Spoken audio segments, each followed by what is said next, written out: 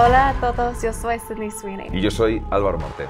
And we are here to let you know these five important things you need to know before watching Immaculate in theaters. Vamos a por la primera. You'll be rushing to see Immaculate. Must pay attention to every detail. It's a miracle. You are with child. And trust me when I say every single detail.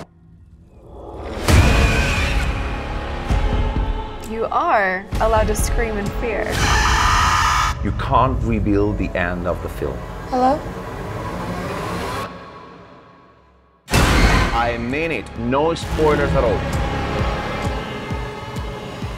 You won't sleep well after watching this terrifying film. And remember, ve Inmaculada and Cinemark.